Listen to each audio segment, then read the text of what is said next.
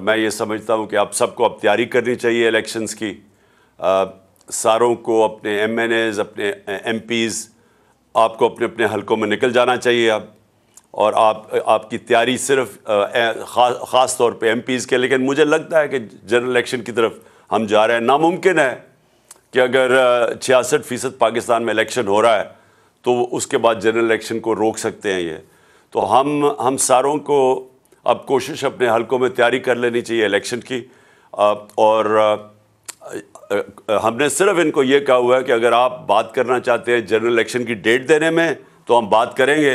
नहीं तो हम अन करीब अनाउंस कर देंगे आ, आ, आ, अपना अपनी असम्बलीज डिज़ोल्व करके इलेक्शंस और मैंने महमूद खान आपको भी आ, मुझे पता है कि आप तैयार हैं बिल्कुल।